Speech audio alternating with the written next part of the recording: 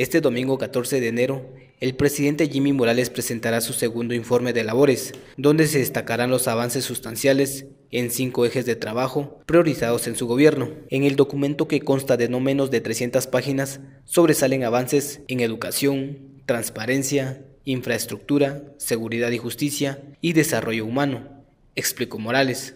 A decir del presidente, en materia de seguridad, se logró la reducción de un 11% en los delitos contra el patrimonio, así como el índice de criminalidad y homicidio. Que hay resultados importantes, por ejemplo, en el tema de seguridad se logró bajar un 11 o 13% de todo lo que es delitos contra el patrimonio.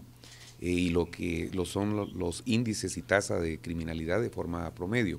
Todos los indicadores fueron a la baja, incluyendo el que yo creo que es uno de los más importantes a nivel seguridad, como es la tasa de homicidios por cada 100.000 habitantes. 2016 logramos bajar a 27.5 y en el 2017 logramos bajar a 26.1.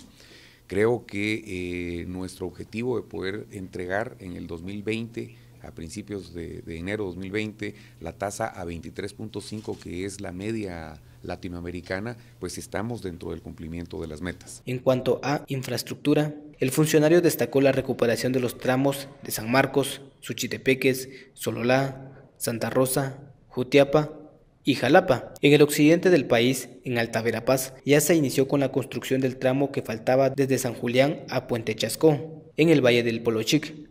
La población ve la inversión que se realiza, aunque es difícil por temas presupuestarios, administrativos y judiciales, explicó el mandatario.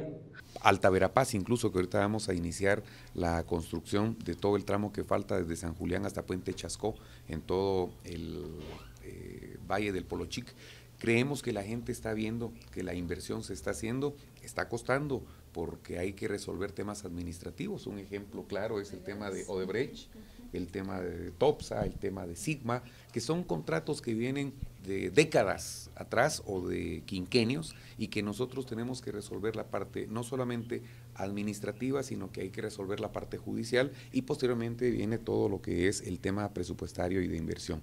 Pero Dios mediante todo eso se estará presentando y falta mucho por hacer y entre lo que falta es que nos unamos para trabajar. A decir de Morales falta mucho por hacer, por lo cual llamó a la unidad para trabajar juntos por un mejor país. El Ministerio de Finanzas Públicas está haciendo todos los ajustes que sean necesarios eh, y junto con el Ministerio de Comunicaciones priorizando estas carreteras que puedan servir a más comunidades. Hay tramos que pues, se han venido eh, priorizando en los avances, uno de ellos es el libramiento hacia Chimaltenango, el cual se espera que tenga avances significativos, para eso del mes de marzo en la Semana Santa pueda ya eh, procurar aperturarse una fase.